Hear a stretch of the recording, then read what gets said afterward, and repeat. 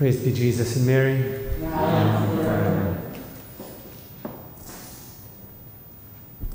Today's saint is Saint Monica.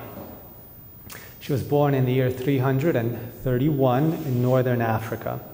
She herself was a Christian, but she married a pagan man who later on in life, actually, really on his deathbed, converted to Christianity thanks to Monica's prayers.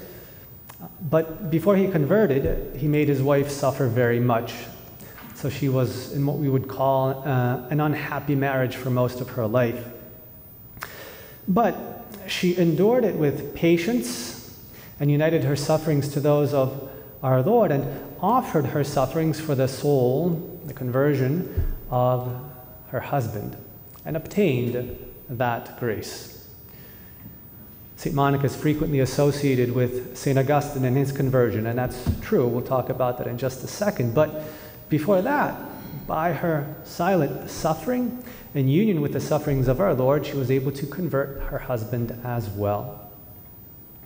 And she, in fact, exercised a, a real apostolate of, of suffering in the sense that in her little town, many women were in a situ- similar situation to her own unhappily married and suffering with husbands who did not treat them well.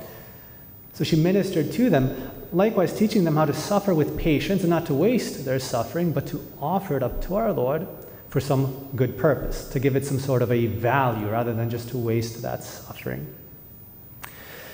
Monica had three children. Augustine was the oldest of the three, uh, the one who caused her most grief and sorrow. He strayed far from God Monica pursued him and prayed for him. He finally converted in the year 387 at the age of 33.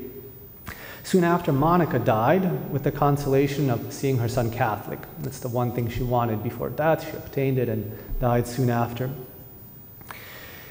And what I'd like to focus on just briefly is just the power of suffering, the redemptive, co redemptive value of suffering, potentially at least, if we use our suffering well. Because, because it's not enough just to suffer.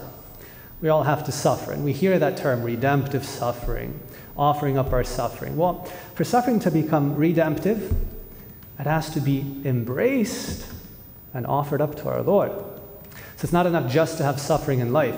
We can waste that suffering if we rebel against it, if we refuse to accept it, if we complain about it, etc., etc that suffering is wasted. Whereas it's only suffering that's embraced that we can say is really offered up to our Lord. As our Lord embraced his cross, we have to embrace our own. Then it becomes redemptive suffering. So, uh, a little episode from the life of St. Monica. At Carthage, Augustine became a Manichaean, which, just for the sake of brevity, let's say was a big heresy back then, and intrigued him intellectually. He became a heretic much to the, uh, added to his mother's grief. Instead of seeing him become Catholic, he became a heretic. And the doctrine of the Manichaeans, Manichaeans was, by the way, pretty bizarre too, so his mom all the more had much to grieve. So she chased him out of her house, later on called him back, and uh, took her grief to a, a saintly bishop, Saint Simplicius. And this bishop, to console her, said to her, with the words that are now famous, the child of those tears shall never perish. Meaning, a, a, child for whom you are offering up so much suffering to the Lord, so many tears, surely will not perish. That suffering, you're giving so, you have so much suffering and you're giving it value. It will have its effect, the bishop assured her. And such was the case, as, as I mentioned before. St. Augustine did convert, but why? Because his mother fulfilled her mission of giving her son not only natural life, but supernatural life as well. Our Lord, uh, our Lord calls us to be collaborators in the work of redemption. He calls each and every one of us to be collaborators in this work of redemption.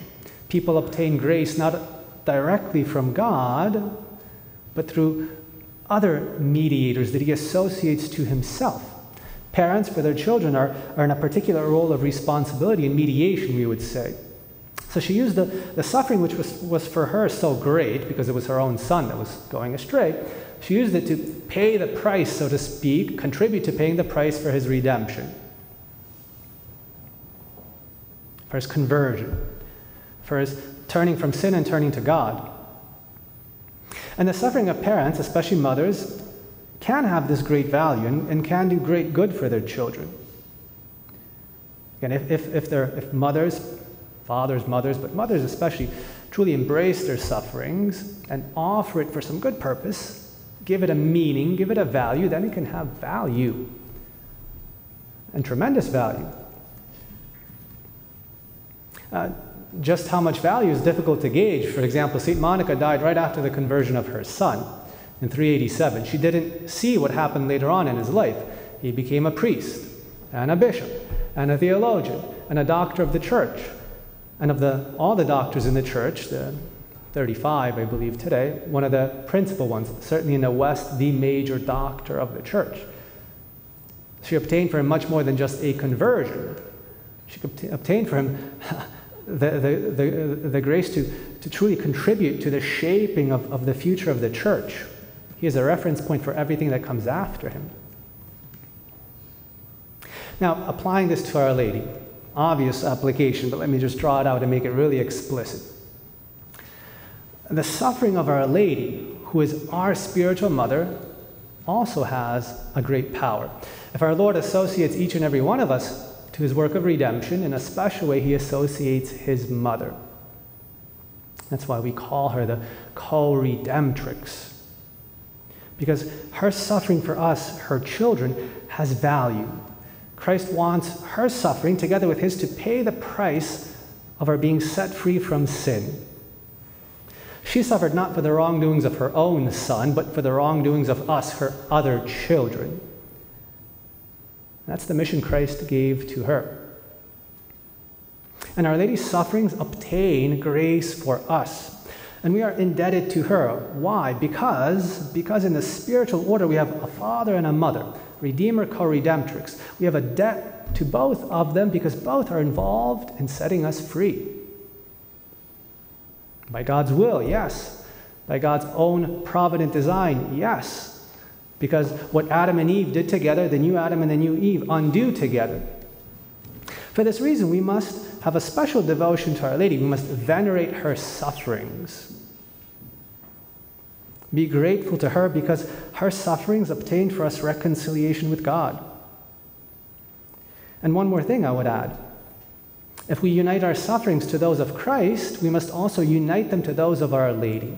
This unlocks for us the full power of the redemption. Because we have to ponder how the redemption happened. Our Lord with Our Lady. Our Lord, principal Redeemer. Our Lady, co redemptrix. We have to unite our sufferings to the sufferings of them both. That unlocks for us the full power of grace that's contained therein. The fullness and the completeness of redemption. So the takeaway is what? So, one, we have much suffering in our life. We can either waste it or make it actually obtain grace for us and for others. If we embrace it, if we offer it up. And in offering it up, we have to unite it together to the sufferings of Jesus and Mary. Then, then, our suffering will be a source of grace for us and for others. It will unlock the fullness and the completeness of the work of the redemption. Praised be Jesus and Mary, now and forever.